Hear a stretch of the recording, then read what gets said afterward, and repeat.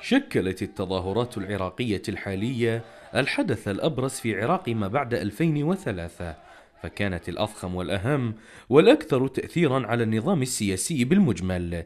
ولعل الوجه الأبرز لهذه التظاهرات يتمثل بالفعالية الفنية والثقافية والحملات التطوعية التي رافقتها منذ انطلاقتها. الكتب اللي موجودة هنا هي تدل على وعي الشاب العراقي على تماسه بالسياسة العراقية على تماسه بالمجتمع العراقي.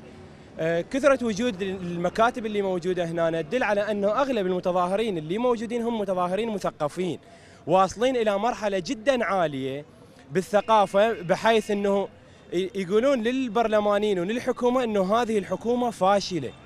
قد أدت بالبلد إلى الهاوية أوصلت العراق إلى الأزمات إلى المحاصصة إلى الطائفية.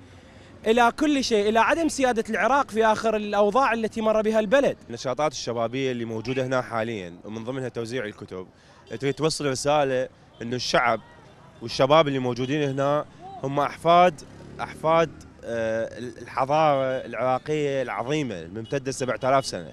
الشباب هنا يريدون يوصلون فكرة يريدون يحيون مقولة آه، أن أن القاهرة تكتب بيروت تطبع وبغداد تقرأ.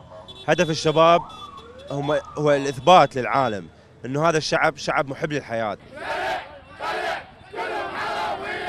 تمتلئ ساحات التظاهرات بالمحتجين كل يوم وكل يمارس دوره في دعم إدامة زخم الاحتجاجات. الأمر لا يقتصر على توفير الطعام وتنظيف أماكن التجمهر بل حملت مختلف النشاطات رسائل متعددة كما حدثنا القائمون.